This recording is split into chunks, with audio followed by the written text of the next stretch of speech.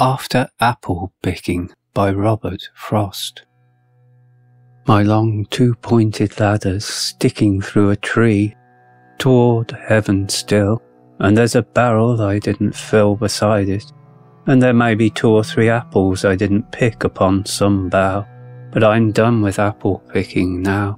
Essence of winter sleep is on the night, the scent of apples I'm drowsing off I cannot rub the strangeness from my sight I got from looking through a pane of glass I skimmed this morning from the drinking trough and held against the world of hoary grass.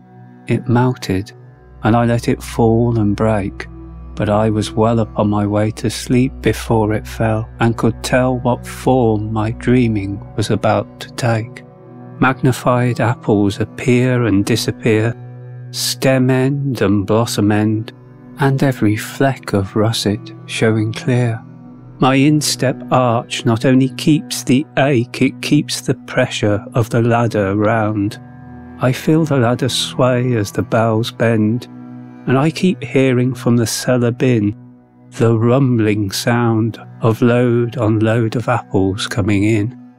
For I have had too much of apple picking, I am overtired of the great harvest I myself desired.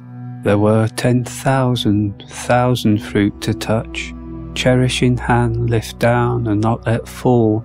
For all that struck the earth, no matter if not bruised or spiked with stubble, went surely to the cider apple heap, as of no worth.